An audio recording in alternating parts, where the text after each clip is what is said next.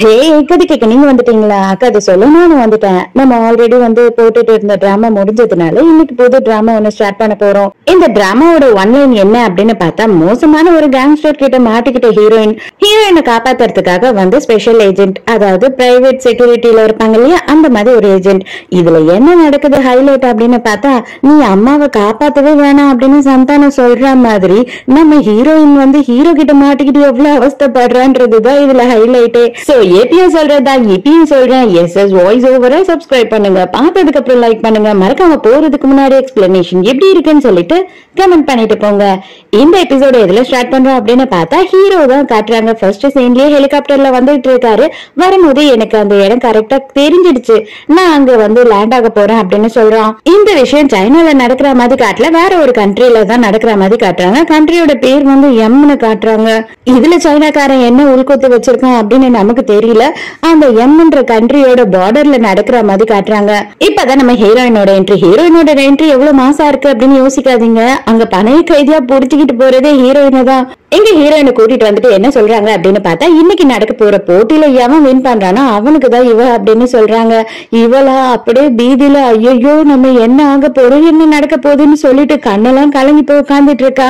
இவன் தான் இந்த கேங்கோட லீடர் இவன் வந்துட்டு போட்டி ஆரம்பிக்கலாம் அப்படின்னு சொல்றான். அப்ப அங்க இருக்கிற ஒருத்தன் என்ன சொல்றான்னா நமக்கு யாருமே தெரியாத ஒரு அவுட் சைடர் வந்திருக்கான். அவனையும் போட்டியில கலந்துக்க விடவா? அப்படின்னு கேட்கும்போது ஆமா ஆமா அவனையும் கொண்டு வந்து போடுங்க கும்பல்ல அப்படின்னு சொல்றான். எவன் வேணாலும் எவனை வேணாலும் அடிக்கலாம். கடைசியில வந்துட்டு எவன் ஒரே ஒருத்தன் நிக்கிறானோ அவன் தான் வின்னர் அவ்வளவுதான். கோலாகலமா ஃபைட்டும் ஸ்டார்ட் ஆயிடுது.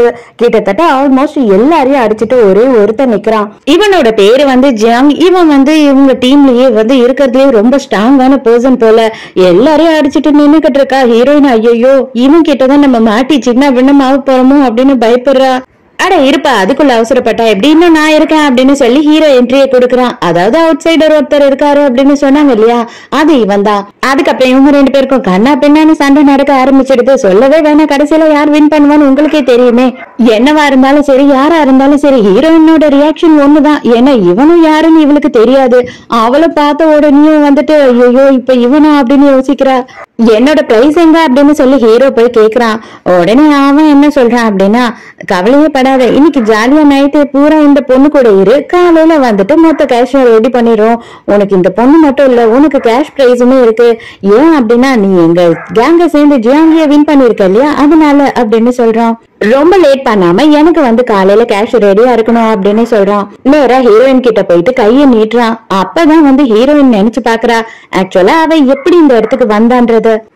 ஹீரோயின் சைனால இருந்து இந்த கண்ட்ரிக்கு வந்து வேற ஏதோ ஒரு வேலை விஷயமா தான் வந்திருக்கா. அந்த இடத்துல ஒரு பொண்ணு ஹெல்ப் கேட்டிருக்கா. அந்த பொண்ணை வந்து கடன் கொடுத்தவங்க எல்லாம் வந்து துரத்துறாங்க. என்னை காப்பாத்துங்க அப்படின்னும் போது ஹீரோயினும் அந்த கையை பிடிச்சி காப்பாத்துறா. நீ கவலைப்படாத நான் போலீஸ்க்கு போன் பண்றேன்னு. அதுக்கப்புறம் பார்த்தாதான் தெரியுது இந்த பொண்ணு நம்ம ஹீரோயினை பிடிச்சி கொடுத்துட்டு அவ எஸ்கேப் ஆயிட்டு இருக்கா என்ன தயவு செஞ்சு மன்னிச்சிடு வேற யாருன்னா நான் புடிச்சு கொடுத்தான்னா மட்டும்தான் நான் போக முடியும் அப்படின்னு சொல்லிட்டு இவங்க வந்த உடனே இவளை விட்டுட்டு அவ ஓடிட்டு இருக்கா அந்த கையை பிடிச்சதுக்கு இங்க வந்து நிக்கிறோம் இவன் கையை பிடிச்சோம் அப்படின்னா இன்னும் என்னென்னலாம் நம்ம பாப்போம்னு தெரியலையே அப்படின்னு தான் ஹீரோயின் இப்ப யோசிச்சுட்டு இருக்கா ஆனா என்ன பண்ண முடியும்? ஹீரோயின் கையில வேற ஆப்ஷனும் கிடையாது. இப்போதைக்கு இவன் கூப்பிட்டா போய் தானே ஆகணும். அதனால ஹீரோயினும் இவனோட கையை பிடிக்கிறா. என்னதான் இருந்தாலும் ஒரு மனசாட்சி வேணாமா? ஹீரோயினும் அப்படியே அலேக்கா தோல்ல தூக்கி போட்டுட்டு போயிடுறான் ஹீரோ அந்த கேங்ஸ்டரையும் மறந்து போயிடுறான் என்னடா இவன்? ரொம்ப கவிஞ்சு போயிருப்பானு அப்படின்ற மாதிரி. மரியாதையா என்ன விடு விடு அப்படின்னு சொல்லிட்டு இவ செம்மையா டார்ச்சர் பண்றாளா? அப்போ ஒரே ஒரு சவுண்ட் கொடுக்குறான். இத பாரு உனக்கு கொஞ்சமாச்சும் தப்பிக்கணும்னு ஐடியா இருந்ததுன்னா உன்னோட எனர்ஜி எல்லாம் வேஸ்ட் பண்ணாத சைலண்ட் ஆயிரு அப்படின்னு சொல்றான் அவ்வளவுதான். அதோட பொச்சு பாம்பு மாதிரி ஆயிடுறா. அதுக்கப்புறம் பார்த்தா ஹீரோயின் ரொம்ப சைலண்ட் ஆயிரா இல்லையா? அதனால இவனுக்கே டவுட் வந்துடுது. என்ன நீ ரொம்ப சைலண்ட் ஆயிட்ட அப்படின்னு கேட்கறான் நீ தானே சொன்ன எனர்ஜியை வேஸ்ட் பண்ண அப்புறமா தப்பிக்கிறதுக்கு கஷ்டமாயிடும்னு. அதனாலதான் என்னோட எனர்ஜி எல்லாம் சேவ் பண்ற அப்படின்னு சொல்றா. ரொம்ப நல்ல விஷயம். இதே நீ மெயின்டைன் பண்ண. நீ இப்படியே என் கூட கோஆபரேட் பண்ண அப்படின்னா கண்டிப்பா வந்துட்டு இங்க இருந்து நம்ம தப்பிச்சிடலாம் அப்படின்னு சொல்றான். இப்பதான் ஹீரோயின் நீ யாரு அப்படின்னு கேட்குறா அப்போதான் அவன் என்ன சொல்றான்னா நான் வந்துட்டு ஒரு பிரைவேட் செக்யூரிட்டி ஏஜென்ட் உன்னோட ஃபேமிலி தான் என்ன அரேஞ்ச் பண்ணிருக்காங்க உன்னை காப்பாத்துறதுக்காக காசு கொடுத்து அப்படின்னு சொல்றான். ஆக்சுவலா அந்த கேங்ஸ்டரோட ஆளுங்க ரெண்டு பேர் வந்து இந்த ரூம்க்கு வெளியிலேயே நின்று வேவ் பார்த்துக்கிட்டு இருக்கானுங்க. இப்பதான் ஹீரோ காட்டுறான். இதை பாரு இவனுங்களுக்கு எந்த காரணத்தை கொண்டு சந்தேகம் வரவே கூடாது. சந்தேகம் வந்துச்சுன்னா நம்ம தப்பிக்கிறது ரொம்ப டைம் ஆயிடும். ரொம்ப பிரச்சனை ஆயிடும் அப்படின்னு சொல்றான். அதனால ஹீரோவும் என்ன பண்றான் அப்படின்னு பார்த்தா ஹீரோயினை ரேப் பண்ற மாதிரி நடந்துக்கிறான். இவனுங்க ரெண்டு பேரும் வெளியிலயே நின்னுக்கிட்டு இருக்கானுங்க ரொம்ப நேரமா. அவன் ஆரம்பிச்சுட்டான்டா. இதுக்கப்புறம் இங்க நிக்கணும்னு அவசியம் இல்லவா? போயிட்டு நம்ம கேங்ஸ்டர் கிட்ட சொல்லலாம் அப்படின்னு அங்க இருந்து கிளம்புறானுங்க. அதுக்கப்புறம் அவனுங்க போயிட்டானுங்கன்னு தெரிஞ்ச உடனே ஹீரோ இவளோட கட்டெல்லாம் அவுத்து விட்டுறான். எந்த பிரச்சனையும் இல்லாம இங்க இருந்து நம்ம தப்பிக்கணும். அது நல்லபடியா தப்பிக்கணும் அப்படின்னா தயவு செஞ்சு என் பேச்ச மீறி எதுவுமே பண்ணிடாது அப்படின்னு சொல்றான். இவங்க எல்லாருக்குமே வந்துட்டு நம்ம ஹீரோவை பத்தி நல்லாவே தெரிஞ்சிருக்கு. அவன் வந்து ஒரு பிரைவேட் செக்யூரிட்டி ஏஜென்ட்னு சொல்லிட்டு அப்ப அவங்க என்ன பேசி பேசிக்கிறாங்க அப்படின்னு பார்த்தா எல்லாம் ஓகே அவன் எதுக்காக இங்க வந்தான் எதுக்காக இப்படி நம்ம இடத்துக்கு வந்தான்றதுதான் தெரியல. அதுதான் நம்ம ஃபர்ஸ்ட் தெரிஞ்சுக்கணும். அவனை நீங்க கண்காணிச்சுக்கிட்டே இருங்க அப்படின்னு சொல்றான். எல்லாரும் தூங்கிட்டாங்க. பொறுமையா எஸ்கேப் ஆகலாம் அப்படின்னு சொல்லிட்டு ஹீரோயினை கூட்டிட்டு அங்க இருந்து போறான். அந்த டைம்க்கு பார்த்தா அங்க வந்து ஆளுங்க எல்லாம் இருப்பாங்க இல்லையா? முடிச்சுக்கிட்டு காவலுக்கு. அவங்க எல்லாம் இருக்காங்க. சார் சொல்லாம நீங்க யாரும் இங்க இருந்து போக முடியாது அப்படின்னு சொல்லும் போது நீங்க பணத்தை ரொம்ப நேரமா என்றீங்க. காலையில என்னோட அக்கௌண்ட்டுக்கு அனுப்புங்க. ஒன்னும் பிரச்சனை இல்லை. நான் இவளை கூட்டிட்டு கிளம்புறேன் அப்படின்னு சொல்றான். அவ்வளவுதான். அடுத்த செகண்ட் வந்து அங்க இருக்கவங்க எல்லாம் இவனை அடிக்க ஆரம்பிச்சிடறாங்க. இவன் வந்து அவங்க எல்லாரையும் போட்டு அடிக்க ஆரம்பிச்சிடறான். ஹீரோயின் ஒருத்தன் அடிக்கிறதுக்காக போறானா கரெக்டா அந்த டைம்க்கு ஹீரோ வந்து ஹீரோயினை காப்பாத்திடுறான். இப்ப பண்ண சத்தத்துல தூங்கிட்டு இருந்த எல்லாருமே கன்னை எடுத்துட்டு எழுந்து வந்துடுறாங்க. அவ்வளவுதான். ஹீரோவும் ஹீரோயினும் என்ன பண்றாங்க அப்படின்னு பார்த்தா வீட்டையே வந்து சுத்தி வளைச்சிட்டாங்க அதனால பேஸ்மெண்ட்ல ஒரு இடம் இருக்கு. அங்க போய் ஒளிஞ்சுக்கிறாங்க. ஹீரோயின் டோட்டலா அழ ஆரம்பிச்சதா என்னால முடியாது முடியாது அப்படின்னு சொல்றா. நீ கவலையே படாத. என்ன ஆனாலும் சரி உன்னை பத்திரமா நான் கொண்டு போயிடுவேன் வெளியில அப்படின்னு சொல்றான் ஹீரோவும் எவ்வளவு சண்டை போடுறான். ஆனா ஒரு கட்டத்துக்கு மேல அவனால முடியல. கேங்ஸ்டர் அந்த லீடர் இருக்கான் இல்லையா அவனே அந்த இடத்துக்கு வந்துடுறான். இதுக்கு மேல ஹீரோவால ஒண்ணும் பண்ண முடியாதுன்றதுனால அவனும் சரண்டர் ஆயிடுறான். இப்ப நான் உனக்கு என்னதான் பண்ணணும் அப்படின்னு ஹீரோ கேட்கும் போது ஒண்ணும் இல்ல.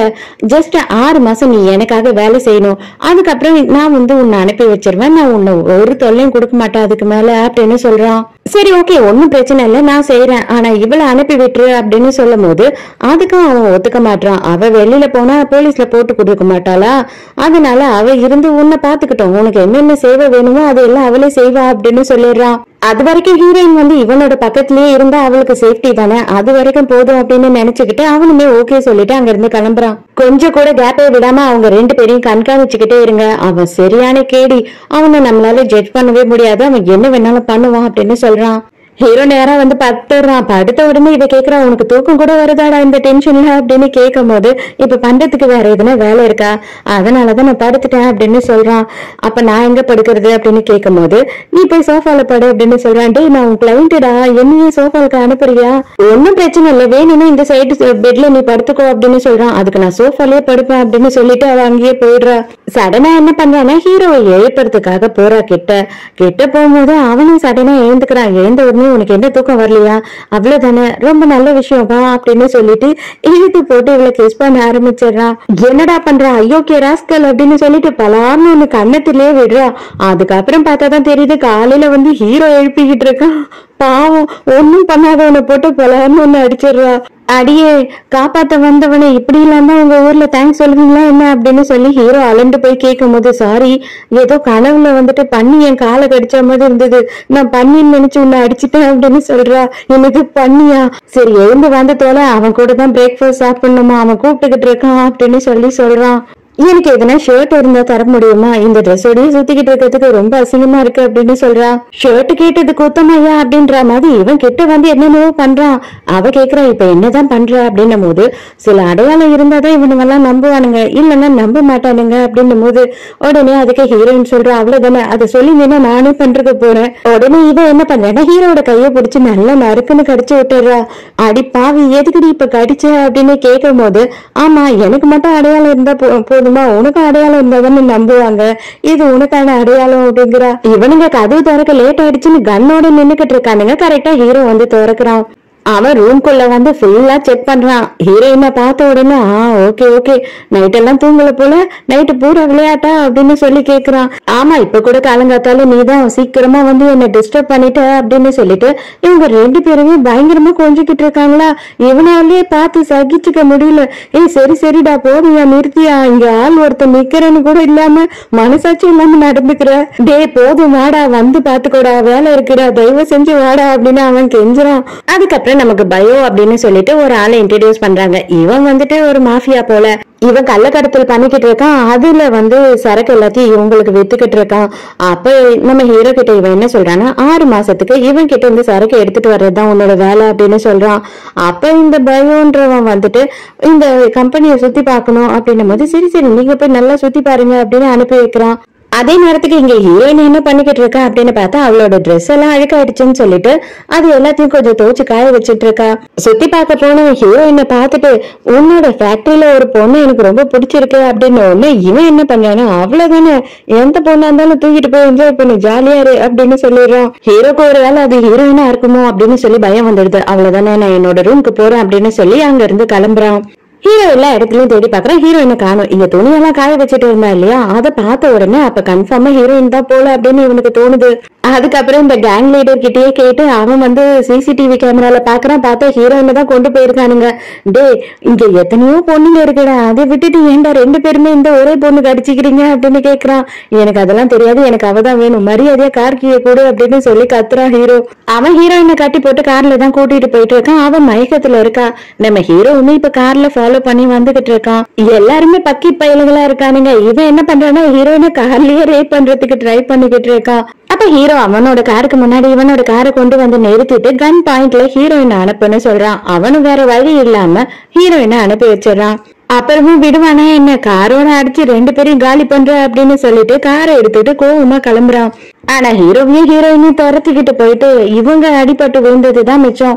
மறுபடியும் என்ன காப்பாத்துறதுக்காக நீ வந்துட்ட அப்படின்னு சொல்லி ஹீரோயின் கேட்கும் போது ஆமா அதுக்காக தான் நான் வந்துட்டு காசு வாங்கியிருக்கேன். அந்த வேலையை தான் நான் செஞ்சுட்டு இருக்கேன் அப்படின்னு சொல்றான். இப்போ வந்து நமக்கு நல்ல சான்ஸ் இப்ப நம்ம ரெண்டு பேருமே எஸ்கேப் ஆயிடலாம் அப்படின்னு ஹீரோ சொல்லும் போது அப்பதான் நோட் பண்றாங்க இந்த காரை வந்து ஜிபிஎஸ் டிராக்கர் மூலமா ட்ராக் பண்ணிக்கிட்டு இன்னும் ரெண்டு கார் வந்துகிட்டு இருக்கு. அடே என்னடா வேலை பண்ணிருக்க அப்படின்னு சொல்லிட்டு அந்த கேங் லீடரே வந்துடுறான். காரு கிட்ட வந்து பார்த்தா அப்போ ஹீரோவும் ஹீரோ வந்து ரொமான்ஸ் பண்ணிக்கிட்டு இருக்கான். அடடாடாடா. இவன் ஏன் ஏன் என் வயிற்றுச்சல கொட்டிக்கிறான்? இவன் சும்மாவே இருக்க மாட்டானா? சத்த நேரம் அப்படின்னு சொல்லிட்டு அந்த கேங் லீடர் செம்ம காண்டாயிரான் டேய் அவனை நீ காலி பண்ணிட்டு எனக்கு எவ்வளவு பெரிய பிரச்சனை பண்ணி வச்சிருக்க தெரியுமா? ஆனா இங்க என்னன்னா ஜாலியா என்ன பண்ணிக்கிட்டு இருக்க நீ? மரியாதையை கிளம்பி வீட்டுக்கு வரா அப்படின்னு கத்துறான். அந்த பயோண்ட ஆளையும் கூட்டிட்டு வந்திருக்காங்க. அதாவது இவன் கிட்ட சாரி சொல்ல சொல்லி உடனே வந்து நம்ம ஹீரோவுமே ஓகே ஓகே சாரி ஒன்னும் பிரச்சனை இல்லை அப்படின்னு சொல்றான். அவன் செம்ம கடுப்புல இருக்கான். உடனே கேங் லீடர் என்ன சொல்றான்னா உனக்கு இப்ப என்னதான் பிரச்சனை உனக்கு என்ன வேணும்னு சொல்லு அது பார்த்து பண்ணிக்கலாம் அப்படின்னு சொல்லும் போது இதுதான் சான்ஸ்னு சொல்லி அந்த பயம் என்ன சொல்றான்? அப்படின்னு பார்த்தா நான் பிப்டி பிப்டி பெர்சன்டேஜ்ல இருந்தோம் இல்லையா? இனிமே எனக்கு எழுபது உனக்கு முப்பது அப்படின்னு சொல்றான். நீ செத்ததுக்கு அப்புறம் மொத்தத்தையும் எடுத்துக்கோடா அப்படின்னு சொல்லிட்டு கத்தியை தூக்கி வாயிலேயே சொருவிடுறான். அங்க ஒருத்தன் கிட்ட கத்தியை கொடுத்து இவனை முடிச்சு விட்டுரு அப்படின்னு சொல்றான். ஐயோ பாஸ் சாரி பாஸ் இது வரைக்கும் நான் இந்த மாதிரி யாரையும் கொலை பண்ணதே இல்லை எனக்கு பயமா இருக்கு அப்படின்னு சொன்னும் போது அது ஒண்ணும் பிரச்சனை இல்லடா இதெல்லாம் போக போக பழகிடும் அப்படின்னு சொல்லிட்டு அவனையே போட்டு தள்ளிடுறான். கடைசியா ஹீரோ கிட்ட நீ தானே என் மேல கொலையேறி அந்த வா வா நீயே முடிச்சு விடு அப்படின்னும் போது கண்டிப்பா நான் முடிச்சிருவேன் அப்படின்னு சொல்றான் ஹீரோ ஹீரோயின் தயவு செஞ்சு இதை பண்ணாத தயவு செஞ்சு பண்ணாத அப்படின்னு கெஞ்சுறா. இப்போதைக்கு நமக்கு வேற ஆப்ஷனே இல்ல அப்படின்னு சொல்லிட்டு ஹீரோவும் போறான். ஹீரோ நேரா போயிட்டு அப்படியே ஒரு கோட்டனை எடுத்து அவன் தலை பூராவும் சுத்திடுறான். சுத்திட்டு கழுத்திலேயே கத்திய வச்சு சதக்குன்னு ஒரு குத்து குத்துறான். ஹீரோயினே ஹீரோ பண்ணதை பார்த்து பயந்து அலண்டு போயிடுறா. எதுக்காக இப்படி பண்ண? எதுக்காக இப்படி பண்ணன்னு சொல்லிட்டு ஹீரோயின் போட்டு ஹீரோவை அடிக்க ஆரம்பிச்சிடுறா. எதுக்காக இப்படி பண்ணன்னு தெரியாதா? எல்லாம் உனக்காக தான் அப்படின்னு சொல்லி கட்டி பிடிச்சிக்கிறான். அவ்வளவுதான்.